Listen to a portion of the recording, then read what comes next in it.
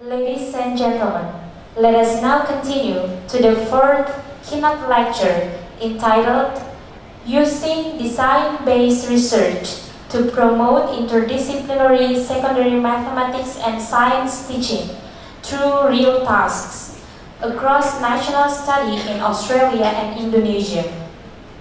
Our fourth keynote speaker is Dr. Wanti Widjaja from Deakin University, Australia, whose presentation will be chaired by Ibu Veronica Triprihadmini.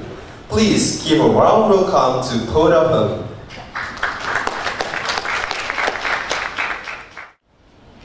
Well, good morning, ladies and gentlemen, distinguished speakers. Um, this is my honor to be a moderator for Dr. Wanti Widjaja. Before we start her presentation, I would like to read her curriculum vitae. Uh, well, Dr. Wanti Widjaja uh, earned her bachelor degree in mathematics education from Sanata Dharma University, and then she pursued her master in education in mathematics education in Boston University and uh, continuing her PhD at the University of Melbourne, Australia in 2008. And in 2013, she got a graduate certificate of higher education from Deakin University, Australia. She is at present um, a course director of the Bachelor of Education Primary at Deakin University and congratulations Wanti, you are a senior lecturer in mathematics education. So um, without further ado, I would uh, pass the time to Ibu Wanti to have a presentation for about 30 to 40 minutes and after that we come to the question and answer sessions. Thank you. Thank you Putri for your kind introduction. Selamat pagi Bapak Ibu. Good morning everyone. okay, uh. So I'll try to stand if I can. Uh, maybe I can walk around a little bit, but I'm a bit nervous about this. I'll stay here for a moment, but I might come a little bit closer later on. So thank you for coming today. Oh, is that one? Thank you for coming today. So today I will be sharing a research, a joint research project actually with uh, the team from Sanata Dharma University with Pak Hongki, Pak Sarkim and Pak Lulu. So we've done this for two years, is that correct, Pak Hongki? So we started with a pilot project funded by Deakin and USD and then we, uh, Pak Sarkim and his team, Pak Hongki and Pak Lulu, managed to uh, secure or win the DIKTI funding. So we continue last year with the money from DIKTI. So uh, I'll be reporting from this particular project about uh, basically the use of design-based research in our uh, research project. So the project actually started with this rationale and um, you might be aware that there, I don't know, in Indonesia as well, I think in the past few years, there is a strong emphasis to actually focus on more interdisciplinary approaches in teaching STEM. So, but I believe that's quite new, isn't it, Mahangi? Um, in Australia, it has been, you know, going on for some time, but still, I think we have issues about, you know, how the, um, to think about the best way to actually facilitate the interdisciplinary teaching um, and increasing teacher capacity for teaching STEM.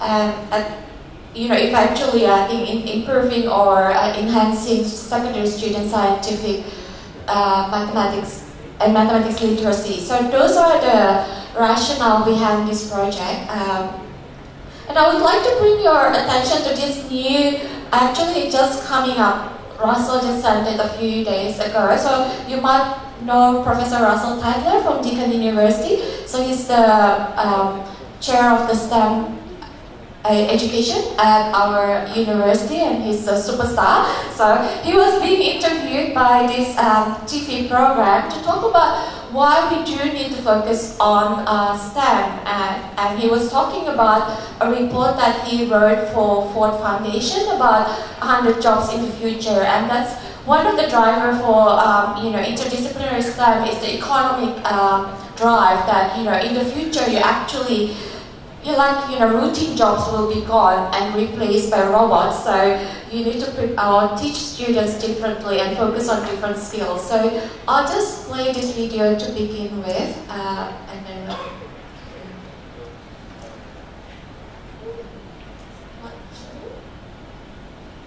Here's a question. Have you ever considered becoming a cyborg psychologist? We all? Uh, what about a nanomedical engineer or a autonomous vehicle designer. Uh, these all sound like bizarre jobs, not exactly a traditional brickie or banker, but according to a joint report that's out today by Deakin and Griffith Universities as well as Ford, they are just a few of the future careers that are set to become a reality in the space of the next decade. Now, here to explain this is Professor of Science Education Russell Tytler from Deakin University.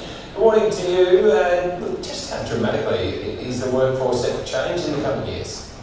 Well, it's changed already, Tom. I mean, kids are, getting into uh, more technical jobs. They're having more jobs uh, in a lifetime than we ever had. Um, and uh, I think with the change of technology, automation, the jobs are going to change with lots of opportunities, uh, as our report found.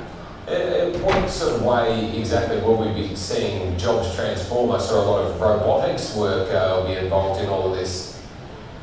Yes, I think a lot of the jobs and what's driving the jobs is technology, and we're finding that already in terms of social media and the way we use um, machines. A lot of routine jobs are going to disappear, that's been some time. But what we found in the 100 job study that we did was that uh, there'll be a lot of jobs looking at the machine-people interface. There'll be lots of jobs requiring uh, creative problem solving as routine jobs and as routine aspects of jobs change. So will the school level required go up? The jobs will become potentially more interesting. A lot of these jobs that we're uh, looking at in the report don't even exist yet. How, how, do you prepare kids in terms of an education when you don't know what the jobs are at the end of the road? Well, this was the question that we, uh, we really started with. Uh, and we, we've got this uh, Future Jobs quiz that we've designed uh, at 100jobsofthefuture.com where we take uh, youth or general public through uh, really a, a questioning of their interests and future directions and we throw up jobs of the future that might interest them and we give them an idea of the skills that will be required and where they can go to get more information.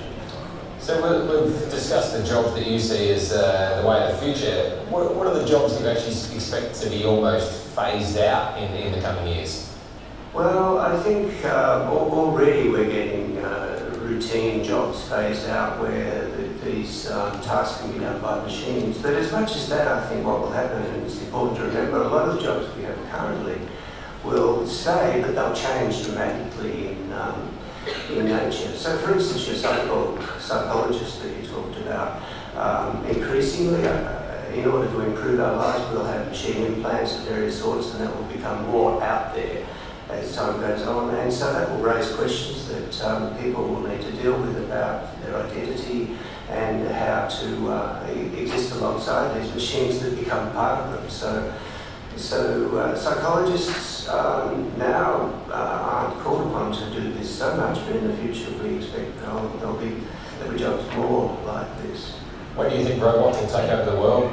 Uh, this is an interesting question. What we found was when we talked about, uh, talked to our experts, is that it's not so much a matter of fighting or competing with machines. It'll be a matter of working alongside them and using them to our advantage. And that's where people skills are going to be increasingly important um, for uh, you know, dealing with how people interface with machines and dealing with how to design machines to, um, to support us. Just quickly, that's an interesting point you make there because if we direct everyone towards uh, working in, in science and, and, working with robotics and these kind of things, to have people skills will almost become a unique talent uh, in some respects, won't it? I think, um, and this is what interests me and, and my colleagues as educators, that, that, we need to think about our education and if we're going to be talking about STEM schools, which we certainly are, it's got to be alongside problem solving, creativity and people skills teamwork, um, that's clearly uh, signalled in a lot of reports that are coming out.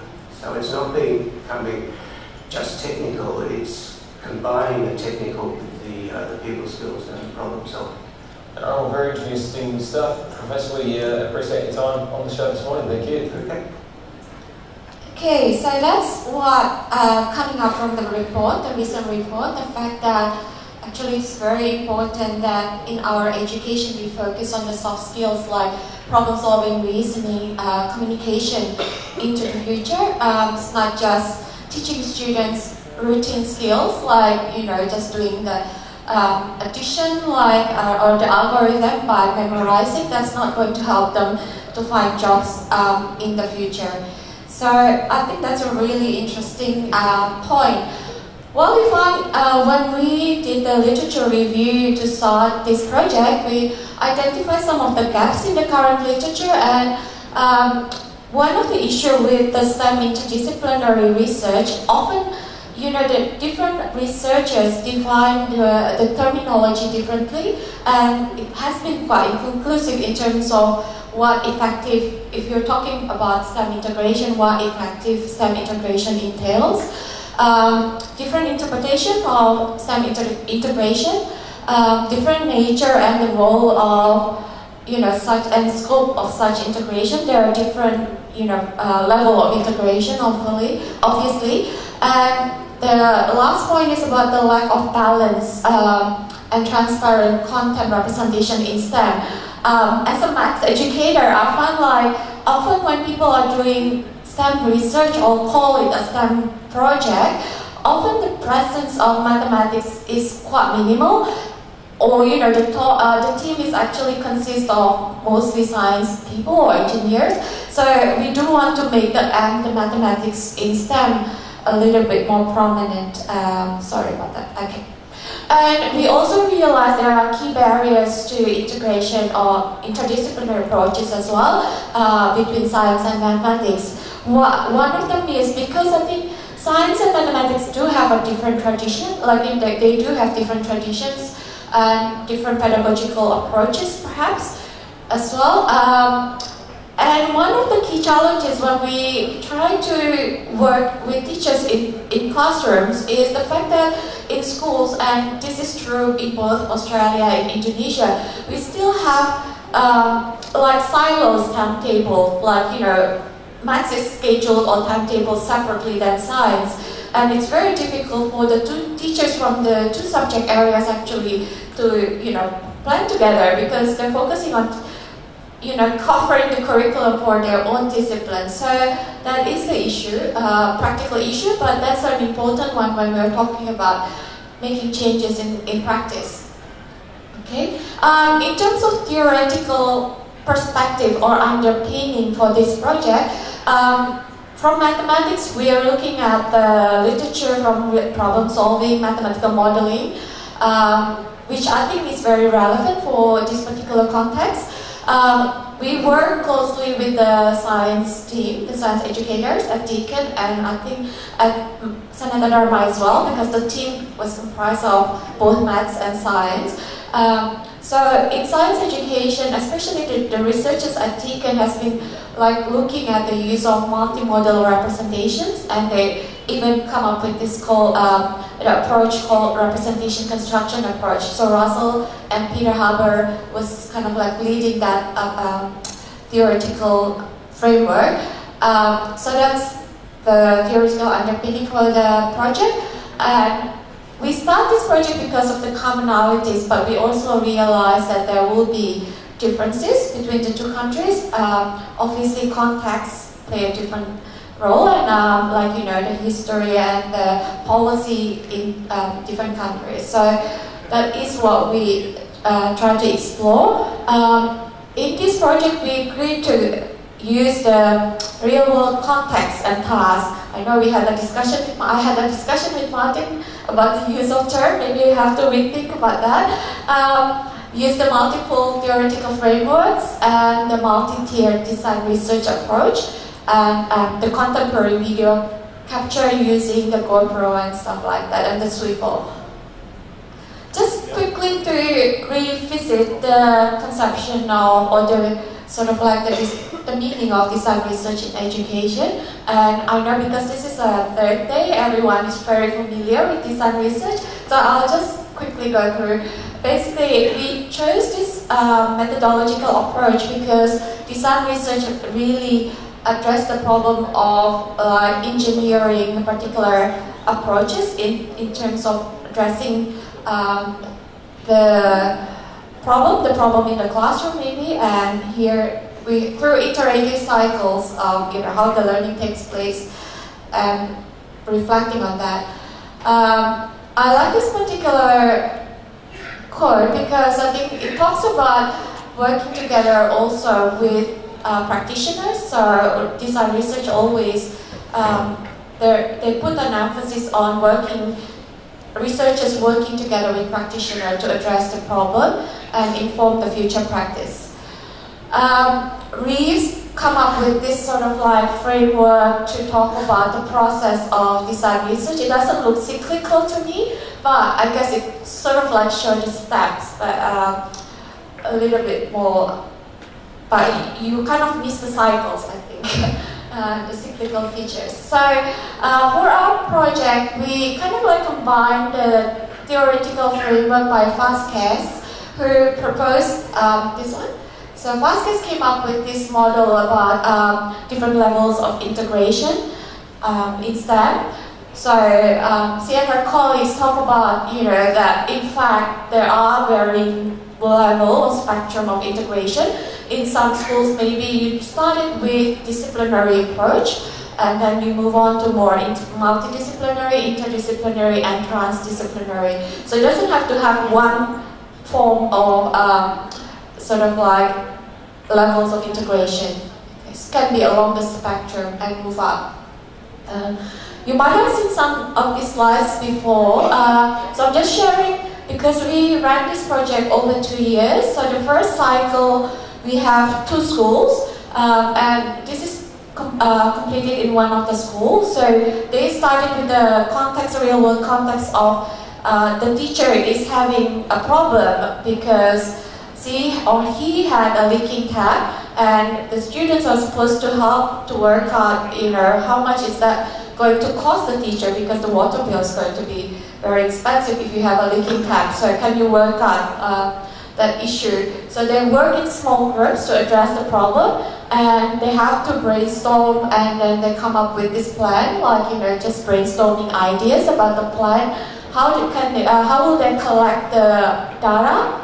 So like here, like using the tap in, in the lab or in the school, and then how would they work out the rates per drop of water usage and work out the solution to that. So that can be a very simple task that can be completed in one or two lessons even. So it doesn't have to be like the same task, doesn't have to be like taking the whole trimester, but it can be as well. So, but if you work with teachers who are quite new, it might be too daunting to start with something that is too big. So you might want to start with something small but it still have the same um, interdisciplinary approach and get students to you know, engage in inquiry approaches into their learning. So as you can see, students are collecting data, they're using digital uh, phone, uh, and then um, other digital tools. So when we design um, the, uh, the project and the activity, these are the questions that probably come up uh, that we have to think about, like, you know,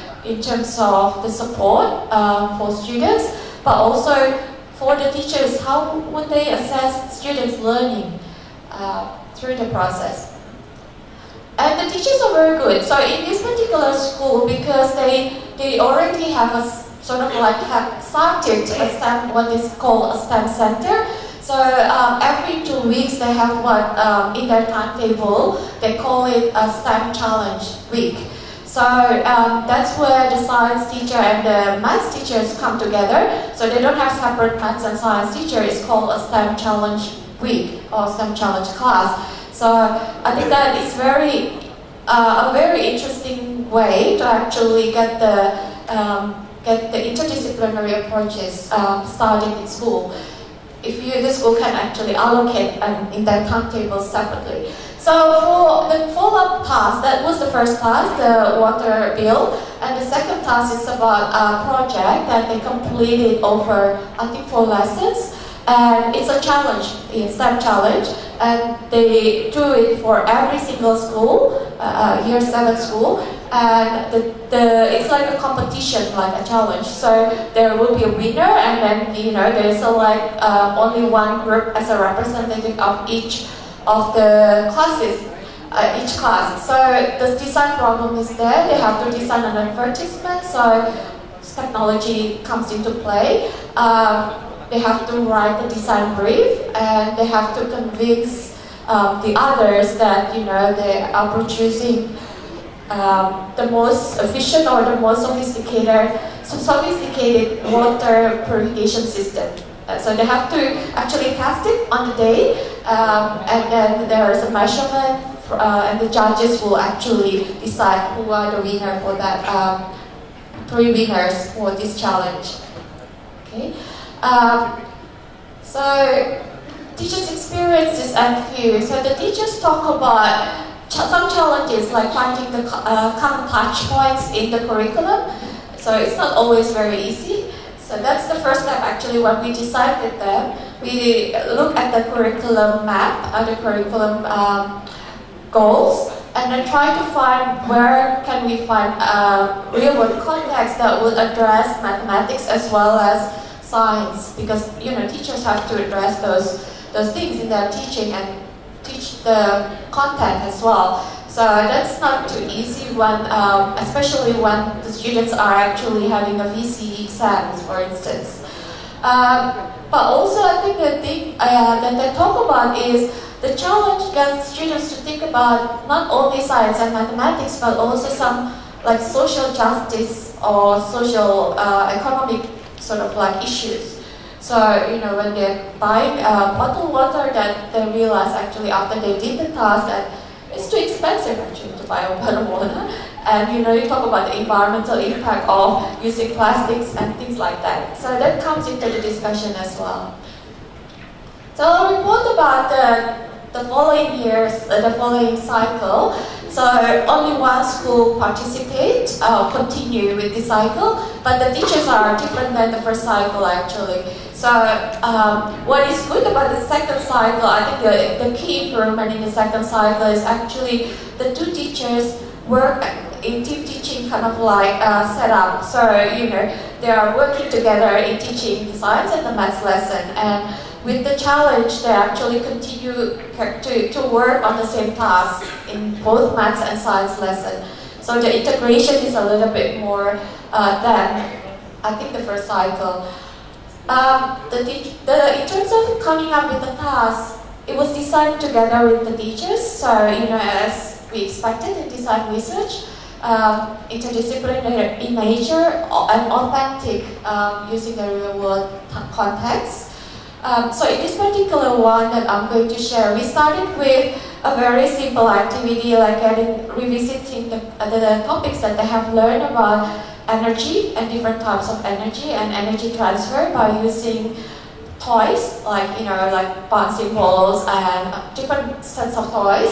So that's the first lesson, and then you start, uh, then the next lesson um, introduce the use of um, not the use of, but introduce the context of uh, skateboard path. Uh, we use the FAT, like the uh, sort of like um, it's an app or uh, uh, uh, yeah an app in the science for the science lesson. So and then did the experiment in this classroom over time and collecting data. And these are some of the prompts. Sorry if it's not very clear; it's a bit dark.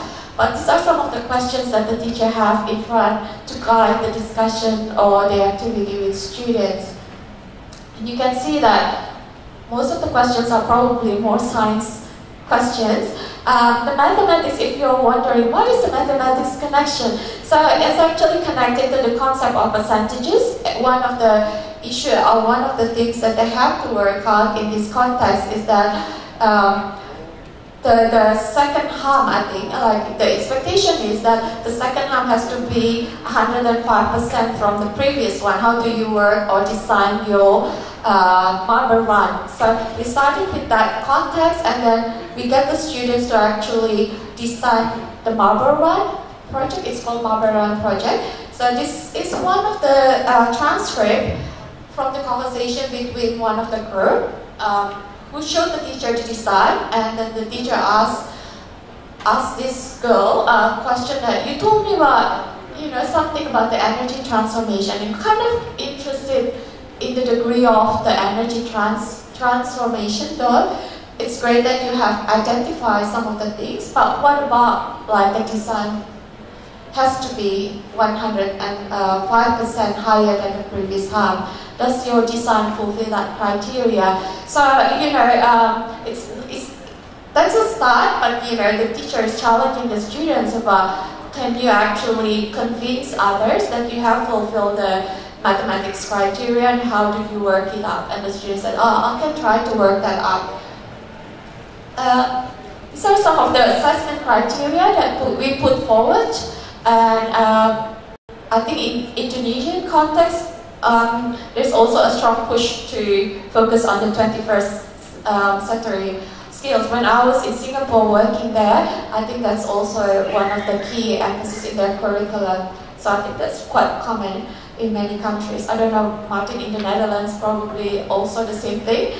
Yeah, and in, in Japan maybe as well, I think. So that's quite a common thing. Um, so this is just to show you a curriculum mapping and this is um, the rubric that the teachers created for students in, term, in terms of um, you know, assessing their learnings because you know, the teachers came up with this one themselves, so not us, but the students have to assess their own learning. So the ownership of the learning goes back to students, so they have to tick uh, and identify you know, from their experience and the learning experience, where they are at in terms of this rubric, and then can you show the evidence in their report? So it's not just saying that, oh, I think I'm actually very good at, you know, um, I can, not just I can calculate. So you can see that the students sometimes only identify not the very top skills, you know, so that's quite, quite good because it gets you to be self-critical about your own learning self-aware, I think. Again, this is the same thing about, um, but talking about the science concept. So, you know, in the rubric you have the mathematics and science. One of the comments from the teachers is the technology aspect of it, um, that we actually probably missed the opportunity to include that a little bit more strongly in the rubric and we don't have the technology teacher involved in our project and that's one of the reflection from the teachers that you know if you're doing it again next time maybe it will be good to include the technology teachers and then work as a team together to um, improve that aspect of it. So we hear about motivation and persistence. I think that's a very important skill uh, when you're learning uh, um, you know, I remember my when I did my PhD, they keep talking about our PhD is about 99% inspiration and 1% of what? so you don't have to be super smart to do a PhD or to finish a PhD, but you have to be very, very persistent and work very hard I think, to get to the finish line. So, and I think that's true.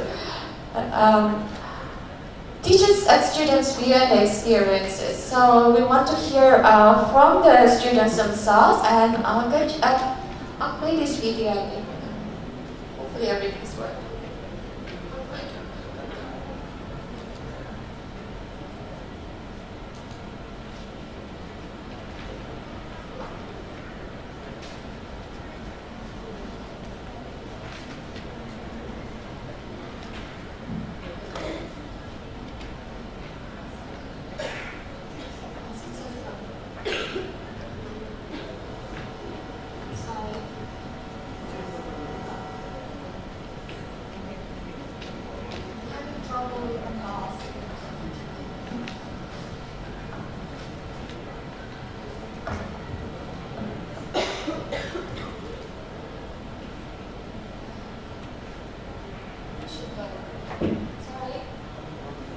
Come up with your design?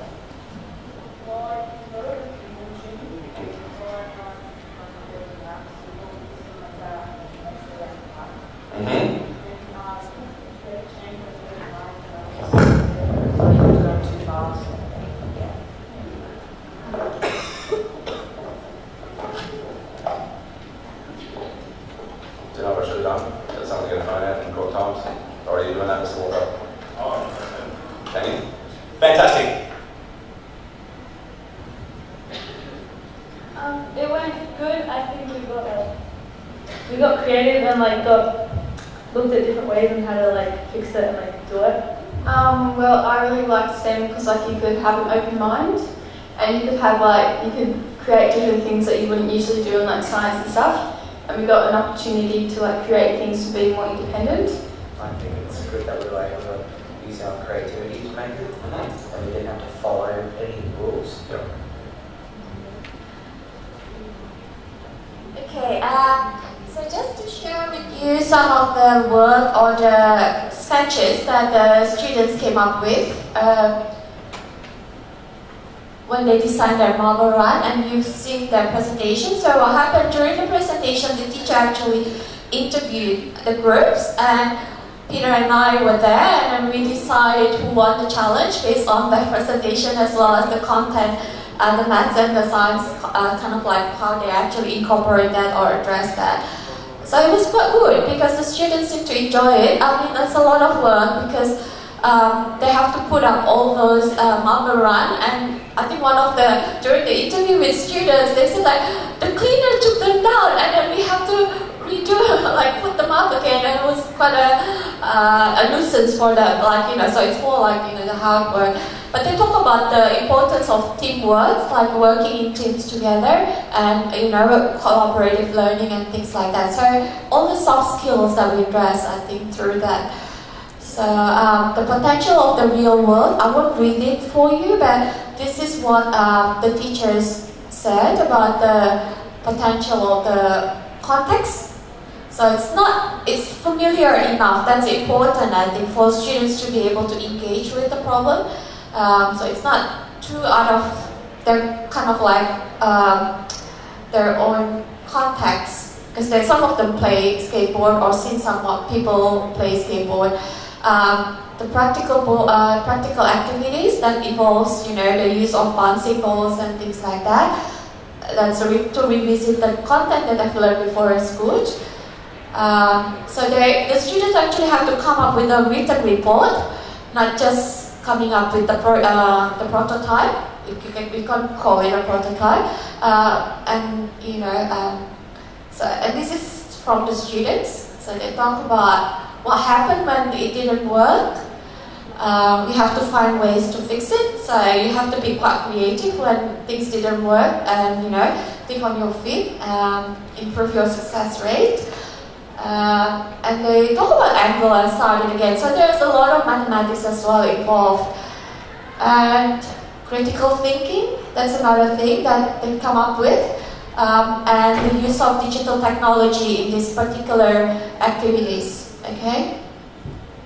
Alright, so that's how they identify in the prototype where they kind of like address the issue of the expectation of reaching the 105%. That's it from me. Thank you so much for your attention. I'm looking forward to hear from uh, to hear your feedback and your questions. Thank you. Okay. Thank you, Wanti. Let's give applause to uh, her presentation. Uh, now we will open a question and answer sessions. I will open the first round to three persons. First, second. Okay, so can you mention your name and institution, please? Uh, I'm Wahyu from Lombok. Uh, it's an honor to meet you, Wanti. Uh, I have read your all, work, all mostly of your works, but now I can see you by myself. Thank you. Uh, okay, in Indonesia, uh, we have thematic approach. Although there is uh, last year, uh, Kemdikbud erased that concept in the mathematics textbook. So now mathematics in primary school uh, has a, a, standalone textbook, not in the form of thematic approach. Uh, one of the issue of the approach is the proportionality of the content which is involved in the mathematics and the other uh, subject, for example, social or uh, science. Uh, so in your research, is there that uh, is that uh, proportionality or balance balance between the content of science, technology, and mathematics uh, an issue for the teacher or even in your research? Okay, thank you. Uh, yeah, we, we will be waiting for the second question. So. Okay, all right, thank you so much for your question. I don't think we've got the balance right from our project. I think it's still quite, and this is coming from the interview data with uh, both the maths and the science teacher, especially from the maths teacher. Um, they still felt that the maths is taking a back seat. So um, I think we can improve it if we get an opportunity to redo it again, maybe starting with the context that has a stronger mathematics uh, focus to begin with because I think it's it started with the science kind of like activity, so the science is a bit more prominent and students can see that it's more visible, I guess, like you know. So so I agree with your point that it's actually not easy to, and it's reported in a lot of projects as well that you know when you're doing a STEM project, it tends to be more science and to be more pro prominent. Um, the thematic approach, I think it's quite a that they dropped it. Um, I don't know whether they have actually data to support why that's not working. But like what Martin said yesterday, I think um, maybe that creates a bit more work for teachers and you know it's not working i don't know like because i think when you introduce a new idea it's actually you really need to, to provide a lot of professional development for teachers to be able to embrace that approach and it takes a while you know it cannot be done even like one, two years, maybe more than that. Um, so yeah, people don't like to change, unfortunately. So they don't like to step outside their comfort zone. So it's, it's always difficult to introduce something. I remember a very wise man, Professor Lee Yi, said like in Singapore, they only change the curriculum, like the big change in Singapore, and unfortunately Tin Lam is not here, but they do it every 10 years because he said like, you know, teachers cannot keep up with too many frequent changes. So if you really want to make significant changes in curriculum and you want teachers to buy in and then, you know, really implement a new one, you actually have to give 10 years time. So, you know, to otherwise it won't work. So, so I think that's a very, very wise approach because otherwise we just keep changing things, but we don't have data to actually reflect on why we make changes and what is not working and why, because the next thing might not work as well. So I don't know, that is sort of like my reflection, but happy to hear from other people as well. Okay, thank you. Now the second question. Yes. Thank you. Um, STEM education uh, is. Excuse me, can you mention your name? My name is Rahma Johar from Unsyiah, Aceh. Uh, we know now uh, STEM education is um, very. Mm, I, I, mean, STEM education is uh, every country need how to implement STEM in teaching and learning process, especially for mathematics teaching uh, we also try to design a small topic uh, to implement STEM education, but we still think about how to build, how to construct mathematics during STEM uh, process. For example, we design the problem about uh, create a map for uh, student house dream rumah idaman how to say in dream house okay. We ask students to design the dream house for their own uh, for uh, uh, for next year maybe. Uh, we still confused what mathematics concept we want to uh, construct we want to student build. Uh, we we analyze special ability. We also want to um, develop their scale, scala, uh, but um, we, we difficult to identify why and how to know the student understand or not about the scale because there are many activities there. We use AutoCAD software. We also use Google SketchUp. Uh, and difficult to us to know the student really know or not about the scale or special ability. So how to uh, focus for mathematics uh, through STEM education. Thank you. Thank you, Bu Rahma. Very good question. I think that's one of the challenge actually. And then in our design project, um, for this project, we like, I think, because Peter has a lot of experience in STEM, science especially. Um, so we we reflected on our first cycle, the first year, that you, you know, we actually let the teachers design the whole rubric and we provided feedback about some of the missing thing. Uh, and often the mathematics is missing. and, you know, you have to kind of like get the teachers to make sure that that is included. Um, but I think one of the key things is to decide with teachers the assessment uh, and how they're going to assess the students' learning, like what you said. So it's not just about doing the activities or completing the project or the uh, yeah. Um, that's why in this particular school we have like the written part, the, the report, as well as um, the presentation. So the presentation is about their communication skill, their creative and problem solving skill.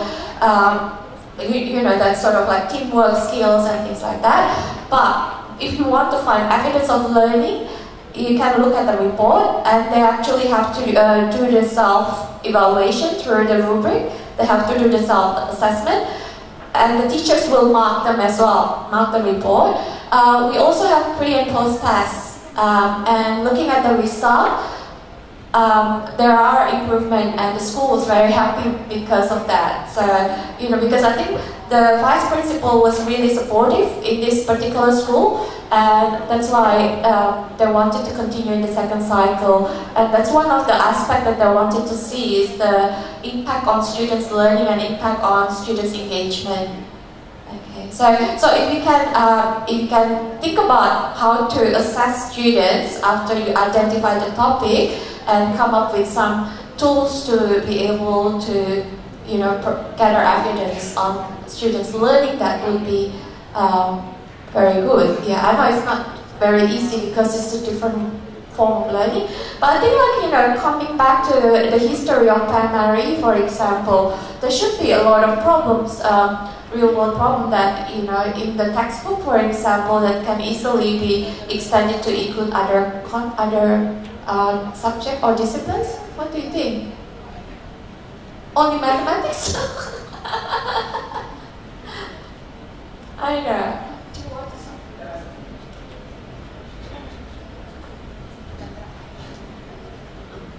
thank you for your presentation because it's very stimulating. Um, there are a couple of things that, that kept me thinking. One is that you showed uh, one of the examples is a skate park. And uh, Bill Jacob and Cathy Fosnot in the uh, context for learning mathematics created a unit for fifth grade students uh, about the skate park where the mathematics is about uh, changing direction and so the question is, what is the angle? And uh, they focus on the idea of changing the concept. Because many students make mistakes that if you extend the length of a line on paper, they think the angle is larger. They don't really know what it is. Um, and it's a very beginning concept. And uh, so during your talk, I was thinking about, okay, if that is the starting point, what is the physics I can put in? Or what is uh, maybe even the biology I can put in. And, and combining the two is quite difficult. Um, but uh, your presentation, well, first of all, I was intrigued because you said it's, it's multinational, but all your examples are from Australia. Oh, yeah. And so I would love to hear a little bit more about whether you have the same experiences here in Indonesia, if you can say something about that. Um, and uh, yeah, let's start with Thank you. That's a very good point. The pro uh, the reason why I didn't include the data from Indonesia is because it's like sort of like uh, the teachers from Indonesian project actually did presentations at these conferences. And um, think did um, the first on the first day. He had a presentation as well. So I don't want to repeat or steal the ideas, but I can share some of the uh, the reflections that I had from you know working with the teachers here. Because we did work with the teachers, we did the professional development with Peter. Uh, so during the pilot time, and then I was quite impressed actually with the creativity that the teachers had um, because um, what happened in the second cycle especially because they came up with some of the school already have what they call uh, interdisciplinary kind of like approach in their own school but they use it for example in economics home economics context. So they're already done like, you know, getting students to produce something and then sell it, think about like, you know, the, the profit margin and things like that. So they build on that one um, and then they extend it to include, like, I think they're producing um, something, salak from salak. Um, what is salak again? Snake fruit, yeah, snake fruit, using snake fruits um, to produce bakpia, like for example, I had to work out um, what is the, I think the compositions and the, the profit again. Like so, and the other school is, for example, coming up with an idea of uh, having or going to an excursion at the zoo and then looking at the different animal classification and coming up with the, a diagram or a set connected to set context or set theory. So there are different, um, in different schools there are variations as well, like you know in terms of idea and where they are at. One of the challenges I think in Indonesia more so than in Australia is about the expectations to, um, or the pressure of assessment that seems to come up a lot from the teachers here in Indonesia, so they seem to be quite pressured by that. Um, in Australia, it didn't come up so strongly, um, although they talk about VCE exams as well, but you know, it's not the very big major constraints for them to participate in the project. But I think for Indonesian schools, often that is the first concern that they have. But um, in Indonesia as well, the teachers, when they've uh, participated in our project, we get them to actually work as a team. So the maths and the science teacher, we haven't had like math science and biology or math science, which is a great idea. And thank you for sharing your idea about the skate park. I hope that I can try that later. I think um, foregrounding the mathematics will make that lesson and will get the students to think more about the mathematics uh, more. I think that's that's a very good idea. I'll, if you can send me the link, that would be great. okay, thank you. I hope I addressed the questions. Yeah. Do we have more time? Okay, is there any other question? Yes, please. Yeah, one more. Thank you. Um, my name is Zulkardi. I'm from Unsri. Um, thank you very much for the very nice presentation, especially the term Melbourne and Marble Run. so that's a really very good uh, term, Melbourne and Marble Run. Well, for, for me, as a from, primary uh, side of thinking, Melbourne or Marble Run is kind of context, right? And uh, tool of the context, yeah doing some activities that come up with the century, uh, 21st century learning, communication, collaboration, and critical thinking. Now, I just want to ask a question, how can we connect, uh, for instance, the activity with the theme of this SEADR? This year is about improving the reflective thinking. Yeah? Would you please explain a little bit what, what does mean by reflective, reflective thinking? Yeah, thank you. So I think from the feedback, or from the, not feedback, but for example, from the uh, interview that we conducted with the teachers and the student, uh, the teachers definitely are very reflective in their comments. Like, you know, they're very honest as well. Like, you know, the maths teachers is the one who said, like, I think the maths is still, he felt that the maths was still at the background rather than in the foreground. And he would hope that you know next time that could be a bit more prominent. So that's a reflection from um, the teachers, uh, and I think the students also reflected about uh, their learning that they are more uh, more independent in their learning. Thank you. Um, and I think yes, it's probably um, we can do a little bit more maybe, but I think in terms of collecting evidence of how they can reflect more on their learning. Um, in the report, we didn't do interview with a lot of students, so I think it's only focus group interview with five students, so it's quite a small sample size compared to the whole cohort. But uh, from those who we interviewed, the teacher selected students who you know should participate in the focus group discussion, and the, the reflection were quite good. I mean, they talk about the challenges in terms of group work as well. To actually, you know, uh, some of the challenges uh, like group work um, to solve issues with when things didn't work out, like you know when they they decide a bubble run, it's actually quite challenging, I think, um, to bend the pipe and you know put the things together. It was not easy, and some groups are very all girls group, not not a mixed mixed group. So I think there are uh, more potential probably for uh, more reflection, but definitely as a researchers we've been reflecting a lot about you know um, from the data from the experience and working together. Try to write together as well with, with the team from indonesia so hopefully we can get that uh, published. So we have some uh, publication uh, one publication coming up from this project um, in a chapter um, an invited chapter by the Taiwanese colleagues so that will come out this year I think but that's from only from the Melbourne data, not from the Indonesian one. Okay, thank you. I think we still have about three minutes, so I would give the opportunity for one more question. Yes, please.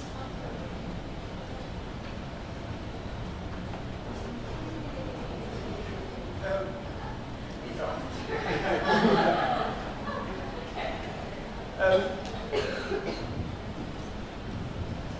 I was in schools in the United Kingdom uh, visiting in um, the end of the 80s. Uh, that happens when you're old. Um, at that time, a lot of schools this, did this kind of experiments, but in my impression, it stays in doing all kinds of things and not in learning. There was no pressure, there was no effort from the teacher to bring it from just doing something to learning.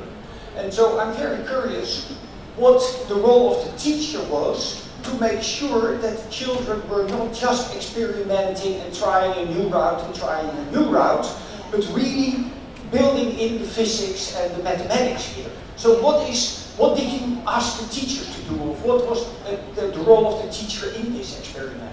Yeah, so that's a very good point because I think the teachers play a very critical role, like you said. So I think uh, by getting the students or asking questions to students, um, in Australia and Melbourne, usually um, at the start of the lesson, which I don't quite agree that you, but the teachers have the um, have to put the learning intentions at the, on the board, like which I don't like as well. I know, uh, but I think for some teachers they do that because they think uh, they think that well that's kind of like a, a, touch point for the students. When they are doing things they can actually see whether or not they have achieved that learning intention like you know. But I think more so like when looking I look at the data I notice that the teachers do ask questions, prompt questions to get the students, like just now, um, the transcript, I didn't show you the video, but the teachers actually ask the question, so have you actually achieved that, like the expectation? So think about that, and the student have to go back and then come, you know, do more work to actually show the teachers that, you know, their design actually meet the expectation of that. Um, in the other part, because of the uh, approach on representation construction, they have to show the drawing or the representations of the, you know, the designer, the, the connections. I think there's another slide that has the sort of like the anecdotal notes on, um, I don't know where, not there, but the anecdotal notes of, for example, the different concepts. Yeah, this one is quite rough but like the connection, the connection between gravitational, kinetic, sound, and friction, for instance. So yeah, I think getting the teachers to actually ask whether or not students actually learn about the concept of energy as well as percentages along the way is very important. Um, when I look at the video, sometimes I felt like the science teachers probably spent a lot of time talking about something at the beginning, but that's just probably yeah at the beginning. But um, but that's not a criticism of the teachers. I think it's just probably the approach, like very relaxed and things like that. Yeah, I know. I agree with you that it can be a danger as well, like you know, because in mathematics lesson, even with games, for example, you can get students to be very engaged in playing games, but not necessarily learning something out of that, doing that. So, you still have to think about what is the key learning point from doing certain activities. Thank you. So uh, that is it, ladies and gentlemen, and distinguished uh, guests. Uh, Dr. Wanti's presentation. It reminds me with my own experience when I first learned, uh, when I learned about mathematics. At that time, my teacher gave us, suddenly gave us the Pythagoras formula, and then he gave us some numbers to work with that, but we did not have any idea of what is the relevance of this uh, formula into the real world. And uh, I was wondering now, but how the bricklayers or the house builders now are very clever, even they did not uh, take, you know, higher education or study about Py Py Pythagoras, but they're very good in building houses and, you know. So I think that is the point, the real, uh, the importance of connecting what we learn at school with the real world tasks. So that's what Dr. Wanti is uh, trying to um, point out here, it is important to engage teachers firsthand with ways to connect the real world tasks by integrating STEM to their understanding of the disciplines. And the second one is that it is very vital to provide opportunities for science and math teachers with the time to plan collaboratively. And it takes quite a long time. Yeah? To map out the curriculum with a, a pedagogical approach that allows individual disciplines to be integrated. So, uh, ladies and gentlemen, let's give a big applause to Dr.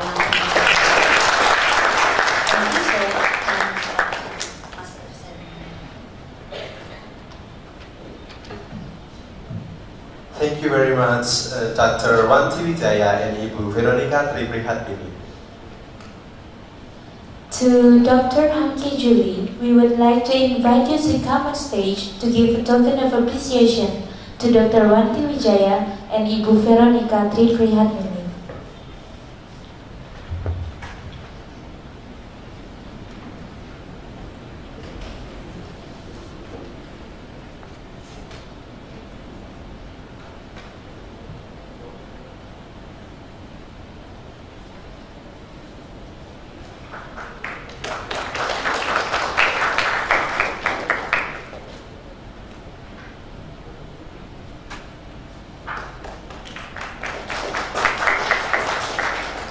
Dr. Hoki Julie, Dr. Wanti Wijaya, and Ibu Veronica Triprihatmin